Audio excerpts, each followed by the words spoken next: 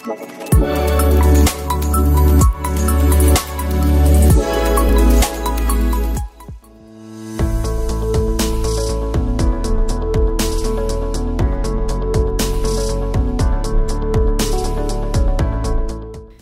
students and welcome back to our English B classroom. In this lesson, we want to continue looking at elements of poetry, imagery, and this is our second lesson. So it is part two. I am your teacher, Mrs. Carla Wilson John, and I'll be taking you through the paces. So let's recap. Imagery. What did we say was the root word for imagery? Image. Yes.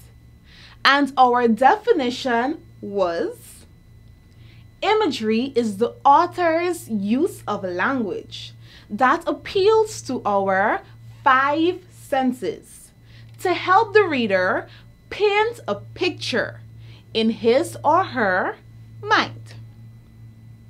Yes. All right.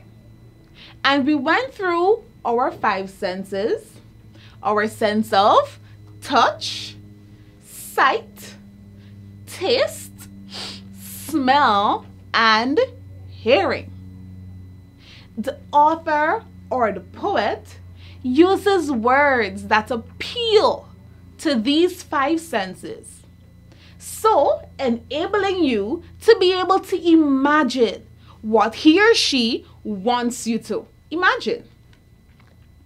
In this lesson, we're going to look at poems that touch on two more of our senses. The first sense we want to look at is your sense of touch. And I'm going to give you some words for you to imagine words that you can envision that all appeal to your sense of touch. You can feel these things. For example, rough, smooth, furry, hard, slimy, soft, dry, spiky prickly, sticky, slippery, and wet. All of these words, adjectives, appeal to your sense of touch. You can feel these things. Now I want to give you a sentence. This will also appeal to your sense of touch. Check it out. The sharp edge of the paper cut my finger and made it sting. Oh, could you imagine that?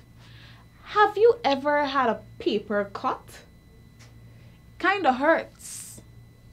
So you should be able to imagine what this author is saying here, or the writer.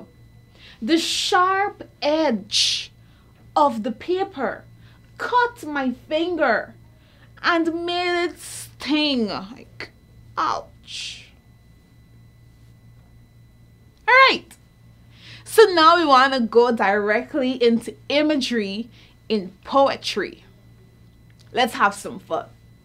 Remember, we're looking at our sense of touch. This poem is written by Roma Sinanan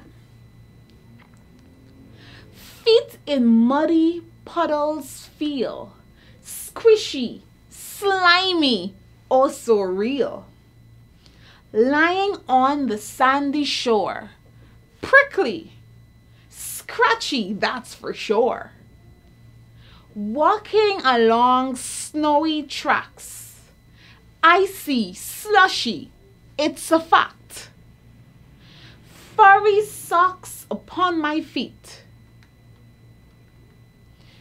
soft, hairy, thick, and warm to me. brushing feathers on my face, so soft, so tickly, like silken lace. Peanut butter on my tongue, sticky, pasty all along. Marshmallows between my teeth, soft and fluffy, what a treat. Mashed potato in my mouth, squishy, wet, squashy yet. Were you able to imagine the feelings there? What those things would feel like? Let's look at the feel words.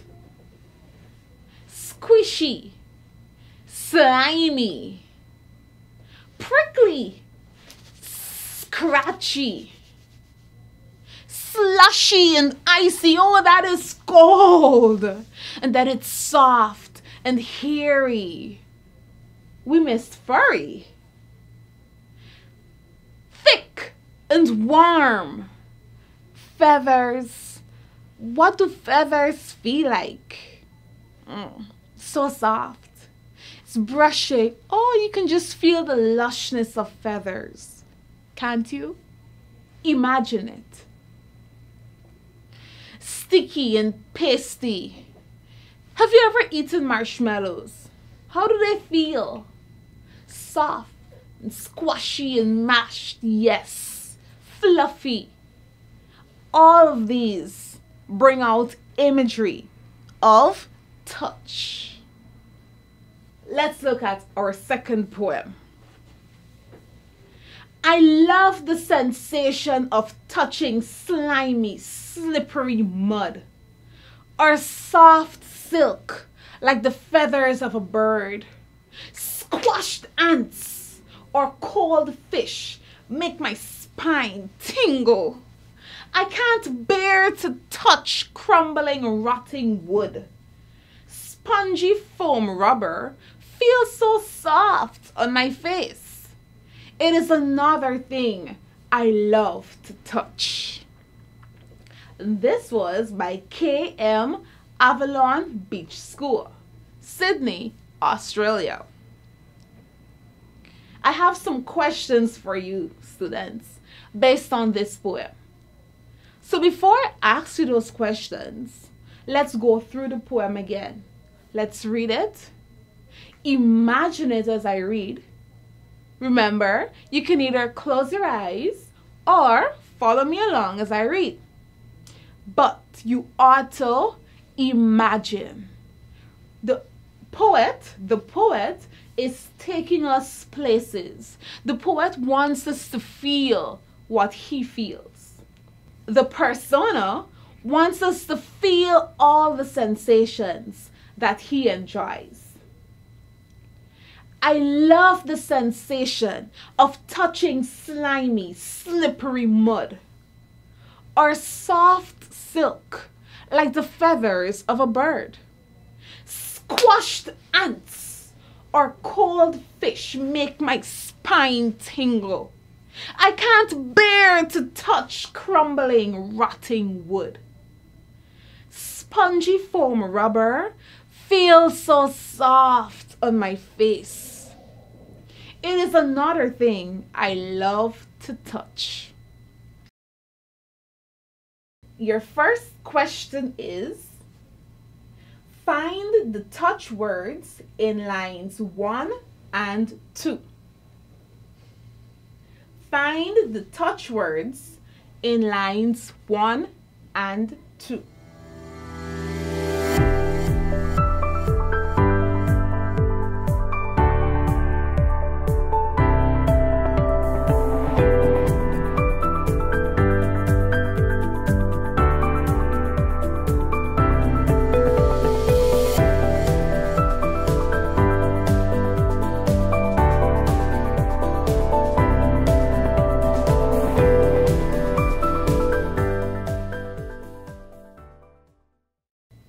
In line one, we have slimy, slippery. In line two, we have soft. Question two. Name the touch words in line 3. Name the touch words in line 3.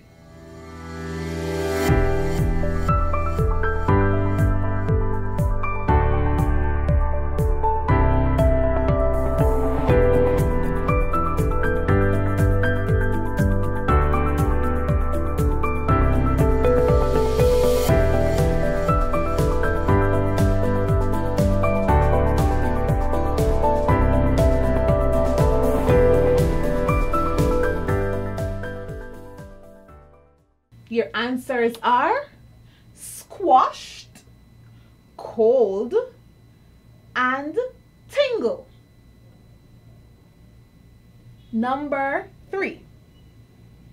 How does the writer feel when he touches crumbling wood? How does the writer feel when he touches crumbling wood?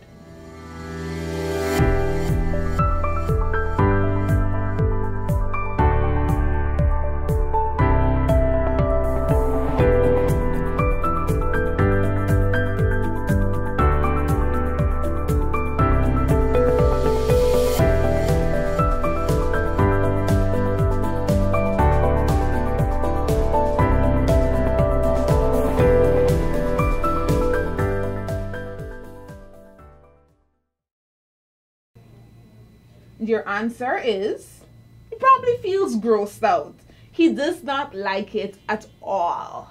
He can't bear it. Your final question is select the touch words in line 5. Select the touch words in line 5.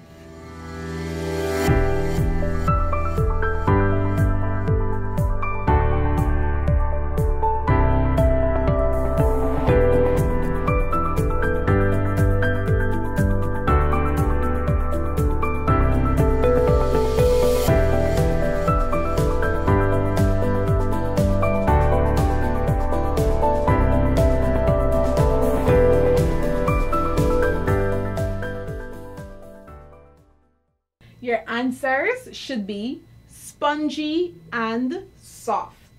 Wonderful students. So we're on to our third sense as portrayed through poetry. So we're to go on to tasting. We're to be learning taste through imagery. I have some words, taste words, words I'm to give you, and I want you to be able to have your taste buds working. Imagine as I call these words. Delicious, spicy, sour, fruity, hot, sweet, tasty, juicy,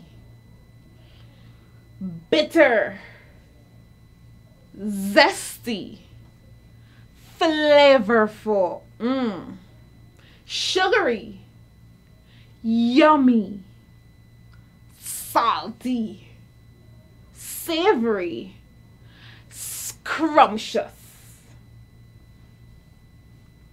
Were you able to imagine any of those? All right. I'm going to give you a sentence now. One bite of the sour lemon caused my lips to pucker. What facial expressions do you make? What do you experience when you have something that's sour? A lemon. The sentence says, one bite of the sour lemon caused my lips to pucker. Oh, but it's good for you. Now we're going to look at our poems. Taste. Imagine it. I have eaten the plums that were in the icebox and which you were probably saving for breakfast. Forgive me, they were delicious, so and cold. That's it.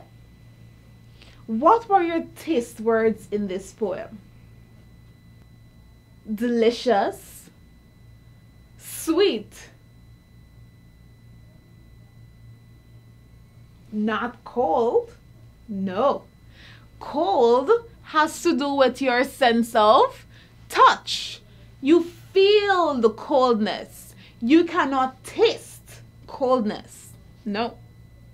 So in this poem, you have two taste words delicious and sweet.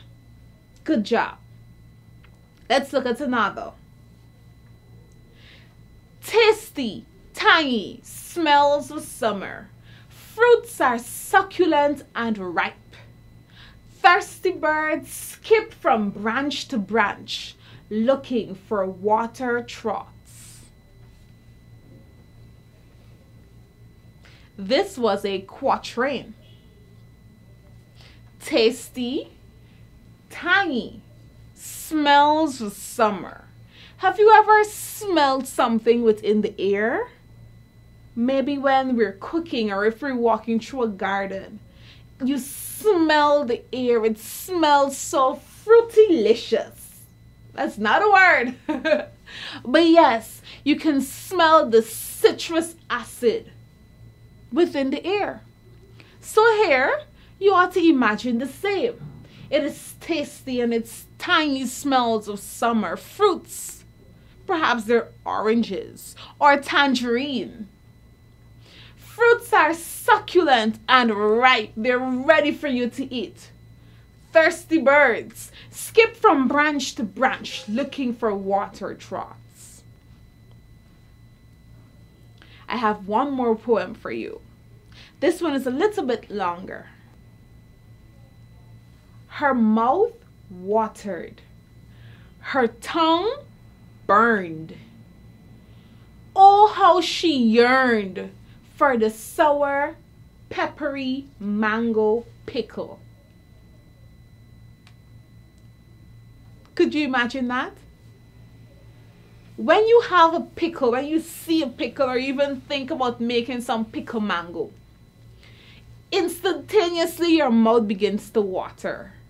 And so here in this poem, her mouth watered her tongue burned. Oh, how she yearned for the sour, peppery mango pickle.